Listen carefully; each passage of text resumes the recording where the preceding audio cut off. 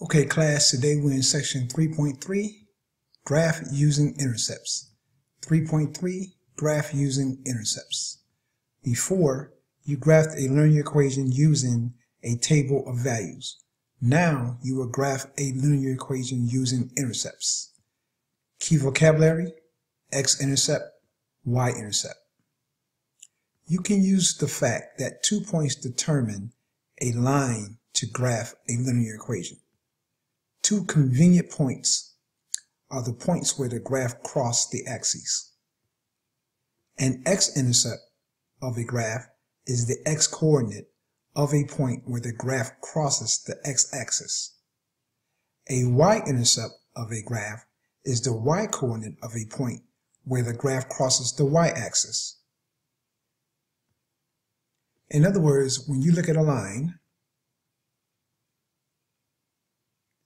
When the line crosses the y-axis, that's the y-intercept.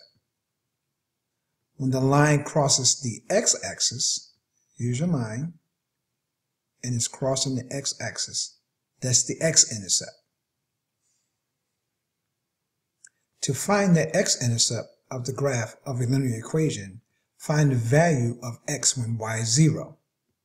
To find the y-intercept of the graph, find the value of y when x is 0. So what they're saying there, if you look at the y-intercept here, notice the y-intercept occurs when x is 0. x 0, y is 6. And also notice the x-intercept occurs, the x-intercept here is 3. It occurs when y is 0. Once again, the y-intercept occurs when x is 0, and the x-intercept occurs when y is 0. So we're going to use this principle in conjunction with an equation to find the x and y intercepts to make a quick graph just using y-intercept and the x-intercept as opposed to making a table. Example 1. Find the intercepts of the graph of an equation. Find the x and y intercepts of the graph 2x plus 7y is equal to 28. Find the x and y intercepts of the graph of 2x plus 7y is equal to 28. Solution. To find the x-intercept, substitute 0 for y and solve for x. So, write the original equation. Since we're trying to find the x-intercept, the x-intercept occurs when y is equal to 0.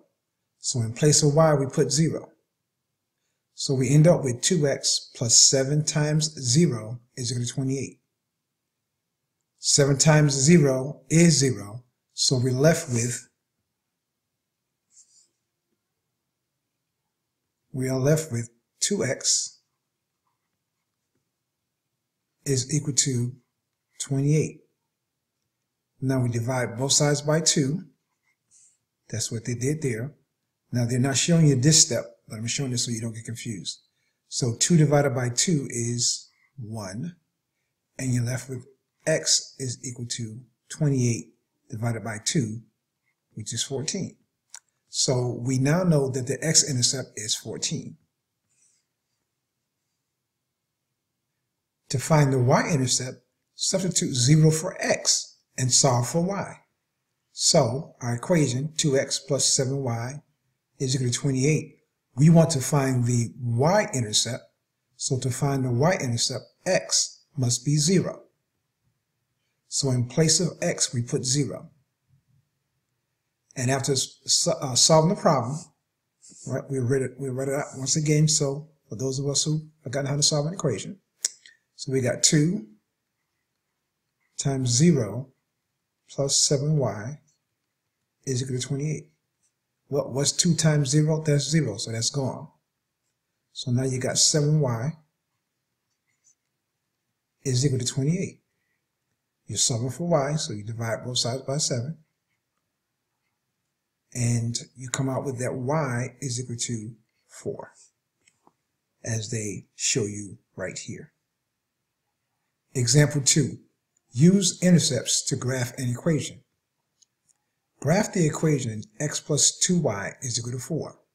Solution. Step 1. Find the intercepts. Okay, so the first intercept we're going to find is the x-intercept. Now, how do we find the x-intercept? Write that equation down. When does the x-intercept occur? When y is equal to 0. So we have x plus 2y is equal to 4. In place of y, we put 0. So now we end up with x plus 2 times 0 is equal to 4. 2 times 0 is 0. So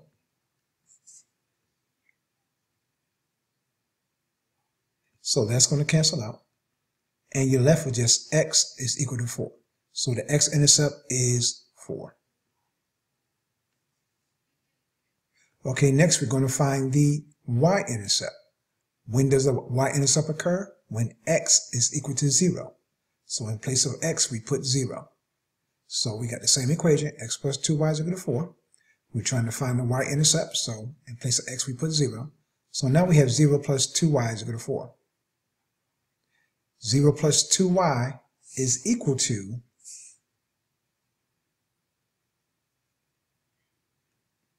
two y is equal to 4. 0 plus 2y is equal to 2y. So you end up with 2y is equal to 4. Now divide both sides by 2. And you find out that y is equal to 2. So the x-intercept is 4 and the y-intercept is 2. Step 2. Plot points. The x-intercept is 4, so plot the point 4, 0.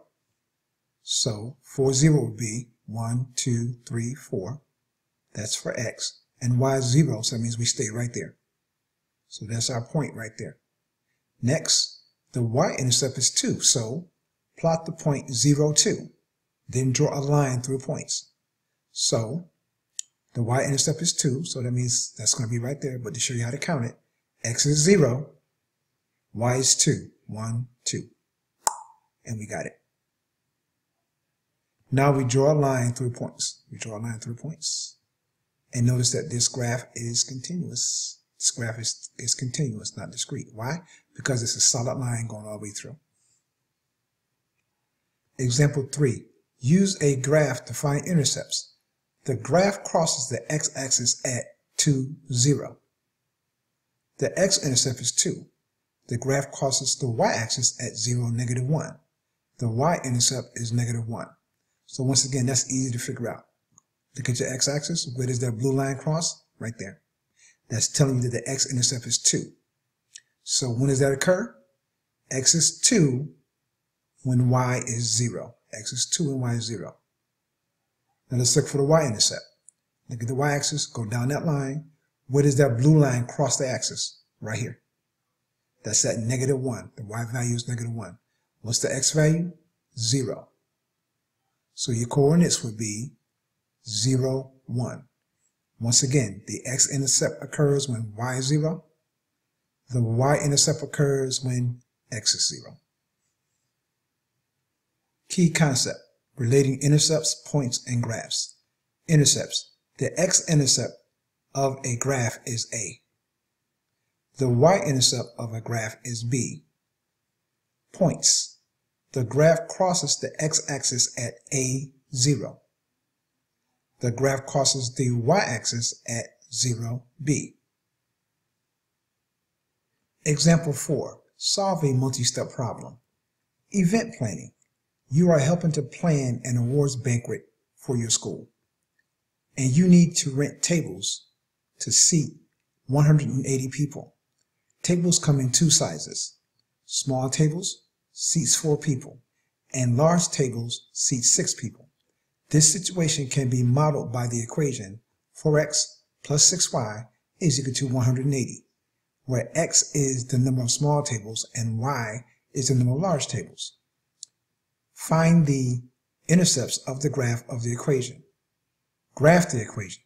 Give four possibilities for the number of each side's tables you could rent. Solution. Step 1. Find the intercepts. 4x plus 6y is equal to 180. Okay, to find the x-intercept, y must be 0. So 4x plus 6 times 0 is equal to 180. What's 6 times 0? 6 times 0 is 0. So what are you left with in this equation? you are left with 4x is equal to 180. All right, now you will do what? Now you divide both sides by 4. And when you divide both sides by 4, you will come out with 45. Okay, so the x-intercept is 45. Now we go to the other side and we find the y-intercept. 4x plus 6y is equal to 180. We know that the uh, y-intercept occurs when x is 0. So we end up with 4 times 0 plus 6y is equal to 180. What's 4 times 0? That's going to be 0. So that's going to be gone. So what are we left with? 6y is equal to 180. How do we get the y by itself? We divide both sides by 6. All right, what's 6 divided by 6? That's going to be 1. So we got 1y. 180 divided by 6 is 30. So the y-intercept is 30. x-intercept 45, y-intercept is 30. Step 2, graph the equation. The x-intercept is 45, so plot the point 45, 0. x is 45, y is 0. Notice how they set up their, uh, their graph, what increments they're using. 5, 10, 15, 20, 25, 30, 35, 40, 45. So x is 45 and y is 0. Since y is 0, we don't, we don't go up or down, we stay right there. The y-intercept is 30, so plot the point 0, 30. X is 0, y is 30. That's our point. Now, since x and y both represent numbers of tables, neither x nor y can be negative. So instead of drawing a line, draw the part of the line that is in quadrant 1. All right, so what they mean there is, instead of the line going all the way through like so, since all you can deal with is positive values, stay in quadrant 1 because uh, x is positive here and y is positive there always. Step 3. Find the number of tables.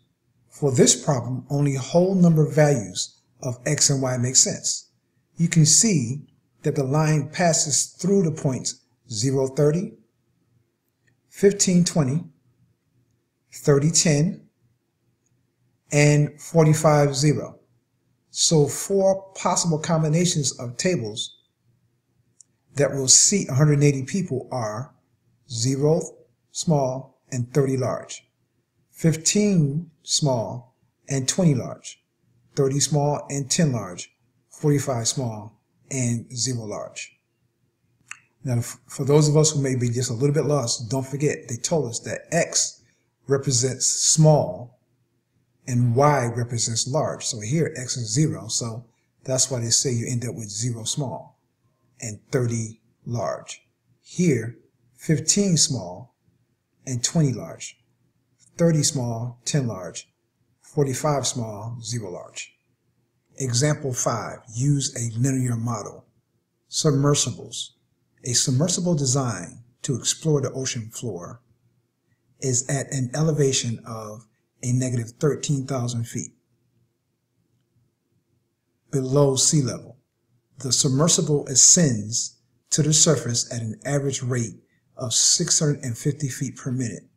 The elevation E in feet of the submersible is given by the function E is equal to 650 T minus 13,000, where T is the time in minutes since the submersible began to ascend.